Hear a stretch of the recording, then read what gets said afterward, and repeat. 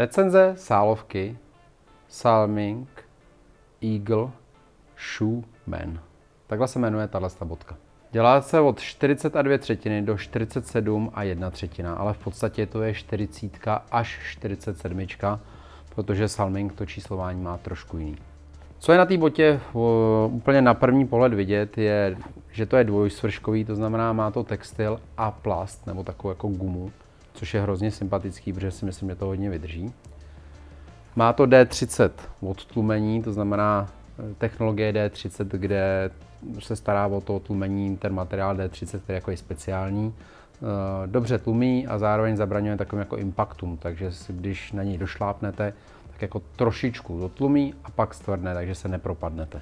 Je tam technologie LMS, kde se jedná o tu technologii téhle hrany, kde je rozšířená ta bota, aby se nepřevracela a nevyvrknul se vám kotník. Stabilizace.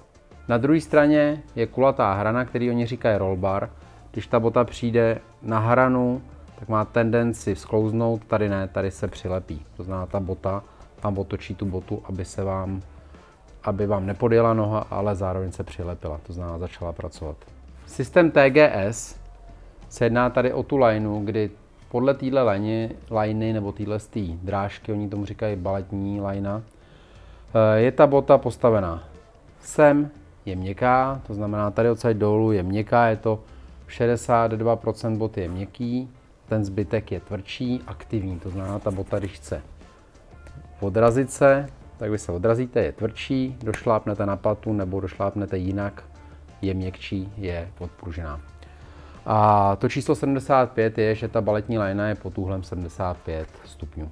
Podrážka udělaná z hexagripu, to znamená ty hexagony a neklouže. Je to vyzkoušený už tuhle podrážku, nebo v podstatě tyhle technologie mají vyzkoušený už na jiných botách. Měli to starý Vipery, něco z toho je na kobrách, něco z toho je na houkách. Hodně slušný. Hodně zajímavý je potom ta anatomická vložka, že už u takhle mm, botách střední třídy už mají tu tvarovanou vnitřní výstelku a hrozně hezky to vede a zároveň s komfortem té tvrdé paty, tak vám to tu botu nebo tu nohu, ta bota hrozně hezky vede. Váha. My jsme navážili 326 gramů, ale oni uvádějí, že ta bota je těžší, takže asi mám nějaký odlehčený model zrovna v téhle 42. Vzal jsem si na hřiště přímo tuhle tu botu 42 a 2 třetiny, odpovídá to 42, já mám 42 všechno, takže 8 UK je u nich 42 a 2 třetiny. A co mi ta bota řekla? Když jsem si ji nazul, tak mě překvapilo, jak ta bota byla anatomicky eh, tvarovaná vevnitř. Jak mě ta bota prostě obepnula, hrozně hezky mi obepnula nohu, mám širokou nohu a přitom jsem neměl pocit toho, že by mě někde ta bota tlačila, naopak hezky mi tam tu nohu zamkla. Což už jako od těch bod docela očekávám, ale tady mě příjemně překvapilo, jak to bylo pohodlný a zároveň jak mi to drželo. Druhá věc, co mě překvapilo, je, že všechny ty boty s takovýmhle plastem, a už je některé firmy dělaly, byly těžký. Tahle není. Je lehonká, nebo ani ne lehonká, ale je prostě rychlá. Mně se na té botě prostě líbilo, jak byla rychlá. Hrozně hezky seděla, hrozně rychle běhala. A co mě na té botě zaujalo nejvíc, nebyl to žádný tvrdý svěrák. Prostě ta bota byla taková hrozně příjemná na té noze, mohl jsem ji mít celý den a vlastně bych necítil žádný problém. Okamžitě mi sedla. To je vlastně daň, to, že ta bota je měkká nebo hodně pohodlná, je daň za to, že potom, když brzdila, tak měla tendenci se malinko kroutit, že není tak torzně stabilní, ale je to furt dostatečný. Já ze svými 80 kg jsem se rozběhl, zabrzdil, ta bota se lehce vohnula, ale jenom lehonce, neměla tendenci se přetáčet, prostě mě podržela.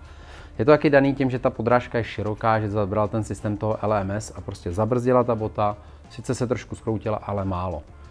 Je to fajn, protože zase ta bota za to byla pohodlná, prostě tak to je. Co říct závěrem? Eh, mně se ta bota líbí. Mně se líbí, jak je provedená, mně se líbil i poměr cena výkon. Není drahá. Je tam prostě rozumná cena za to, co ta bota umí. Ze Salmingu vybrali hodně dobré technologie, z mého pohledu ty, které fungují. A pocitově ta bota je hodně dobře odpružená, možná až moc, ale prostě je to komfortní. A to je to, když hledáte komfortní botu, tak za tuhle cenu je to jedna z nejlepších, z nejlepších bot, který znám.